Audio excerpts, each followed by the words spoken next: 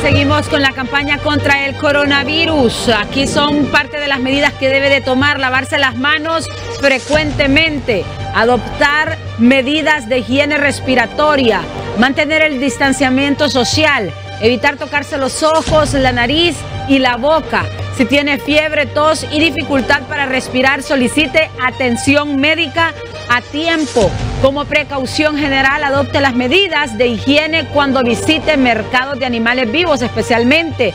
Y además, medidas higiénicas y no consuma productos de animales crudos o medio cocinados. Los síntomas principales, fiebre, tos y dificultad para respirar y tarda aproximadamente 14 días en registrarse los síntomas. Evite compartir artículos, platos, vasos, quedarse en casa y no ir al trabajo, a la escuela si, tiene algún síntoma. Y los sectores más vulnerables, las personas mayores o que ya sufren enfermedades como diabetes y asma.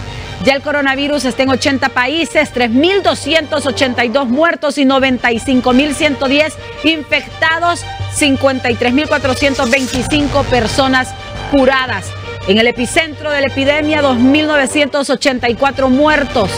Ya 11 muertos se registran en Estados Unidos y hay en 7 países de América casos de coronavirus. Está ya en América Latina, en 7 países. Esta es parte de la campaña que hemos iniciado aquí en HCH Televisión Digital y vemos el mapa que se está actualizando minuto a minuto, dándole a conocer a la población mundial sobre el riesgo del coronavirus. En China, tal como lo estábamos detallando, solo aquí son cerca de 3.000 personas las que han muerto. Es el epicentro del coronavirus, 80.000, más de 80.000 ya contagiados, 3.016 muertos y 62.000 personas que se mantienen como curadas. Esto es en China. Vamos a ver en Irak e Irán también son casos donde se están registrando por parte de las autoridades. En Irán, 92 personas muertas, 92 personas muertas y más de 2.900 diagnosticadas. En el continente europeo, vean ustedes el fenómeno que ocurre en estos países de primer mundo. En Italia, en Italia ya suman 107 personas muertas. 107 personas muertas y más de 3.000 que están contagiados. En el continente europeo, sin duda alguna, este es el país con eh, más diagnosticados de coronavirus y sobre todo con una tasa de mortalidad bastante alta. Es 107 el número de personas que ha fallecido en España, donde hay un alto porcentaje también de hondureños que están radicando, que han salido de Honduras en busca de una oportunidad de empleo y que radican en España.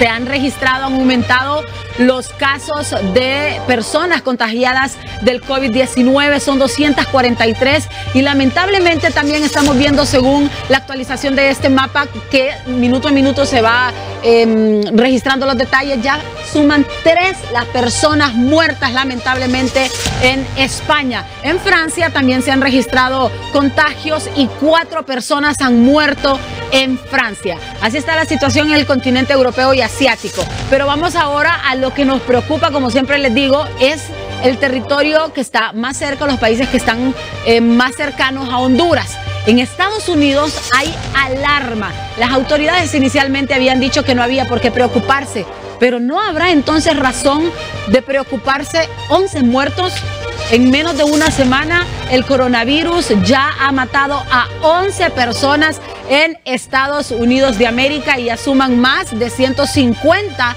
los diagnosticados y apenas tres han sido curados. Las autoridades insisten se tratan de personas mayores y con otras enfermedades los principales diagnosticados, pero son 11 personas las que ya han muerto. El último caso se registró en California y allá las autoridades han tomado medidas drásticas para evitar que esta situación continúe. En California han declarado estado de emergencia por el coronavirus. Luego de las 11 personas fallecidas y repito, el último caso que ocurrió en este sector, en California, las autoridades han asegurado que van a aumentar sus medidas. Son más de 3.000 las personas muertas. En Estados Unidos, 153 contagiados. Nos vamos de inmediato a México porque aquí también siguen registrándose más personas contagiadas. En México, seis, seis diagnosticados y apenas una persona curada.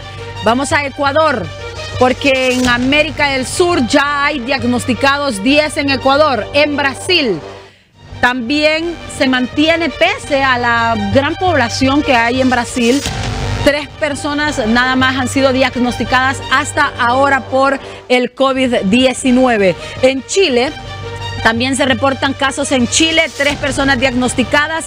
Nos vamos a Argentina hay una persona diagnosticada y es justamente el caso que está en investigación.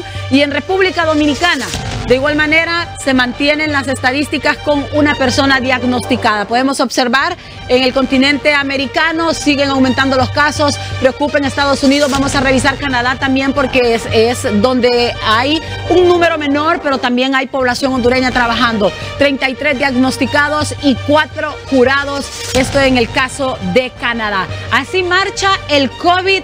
19 en cinco continentes. Mire usted los datos actualizados hasta este momento, 5 de marzo. En el mundo van 95.110 personas eh, contagiadas, 95.110 personas infectadas. 3.282 muertos hasta esta hora de la mañana. Y también hay que mencionar 53.425 personas curadas. China, por supuesto, sigue siendo el principal país, el epicentro, y aquí 52.260 personas curadas y solo aquí se han registrado 3.000 16 muertes. En Europa son 114 muertos. En Francia estábamos viendo también en Italia donde se registran el mayor número de casos muertos. y en España que van tres víctimas mortales producto, específicamente en España, ¿verdad? En el continente europeo. Pero en este caso estamos abordando porque acá vive un alto número de hondureños que han salido a buscar una vida mejor y tres que han sido curados en España y en total del continente europeo 320. Datos actualizados hasta esta hora, lamentablemente la cifra del COVID-19 en el mundo. Siguen registrándose más casos y las víctimas mortales siguen aumentando. Aquí en nuestro país, las autoridades dieron a conocer ayer que cuatro personas que vinieron procedentes de estos países donde hay casos se mantienen bajo vigilancia. No se ha confirmado aún, no se han confirmado que estén contagiados con el COVID-19. Solamente se están tomando todas las medidas de precaución para evitar el ingreso. De hecho, aquí podemos observar que en el mapa no lo ha actualizado Honduras todavía eh, no aparece con casos sospechosos porque los ingresos que se hemos reportado o informado en los medios de comunicación han dado negativo.